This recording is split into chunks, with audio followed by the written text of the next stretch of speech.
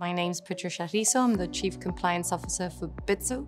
Bitso is a Latin crypto exchange. Uh, we started off in 2014 as a Mexican exchange that grew exponentially, and now we cover the whole spectrum of, of, of LATAM. What we've done very successfully is how to navigate our users through a great user experience on our onboarding and our journey in Bitso and the service and the product offering that we have. When I first started in, in uh, uh, Bitso, we had a different provider and we had severed that uh, the ties with that provider because I wasn't particularly happy at the time on uh, how the team uh, could not really understand the platform that they were working with. And uh, one of the tests was actually understanding how Chainalysis profiled and assessed risks on daily transactions. And also, what was very important to me at the time, and I think to the whole organization, is that the tool uh, would enable compliance analysts to use it on a day-to-day basis efficiently. And one of the added values, the minute that we started integrating with Chainalysis was the React and KYT training. Training your staff is critical. They just started using the tool the minute that we linked that API and those transactions started flowing. We were able to handle them very efficiently.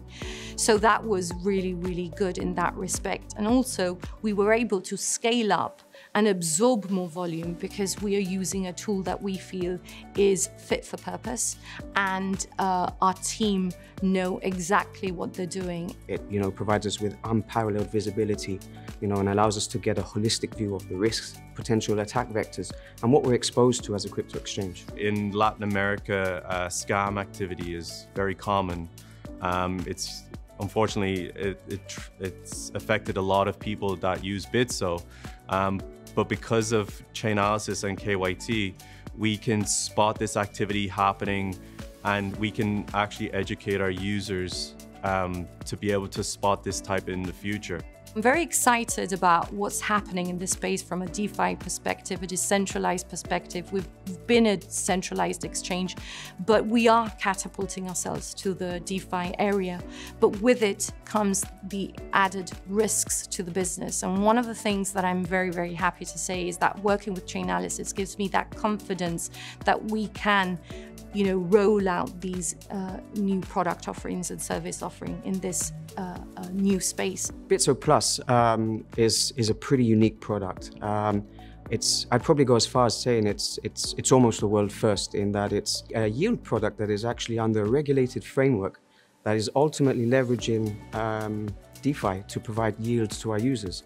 Uh, Chainalysis has been pivotal in that in that product launch book because we designed with Chainalysis a, a, a, unique counterparty monitoring element that allowed us to deep dive into the liquidity pools that we're tapping into to offer yield to our users and give us a real risk exposure, you know, and having a look at the health of those pools, where funds are going to, where funds are coming from.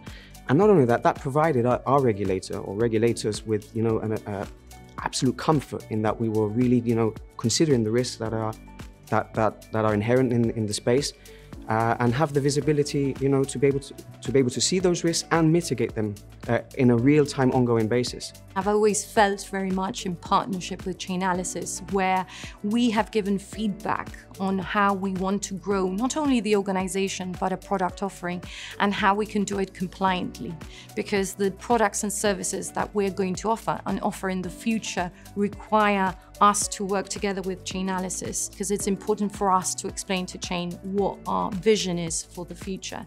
And it is making crypto accessible and useful to all.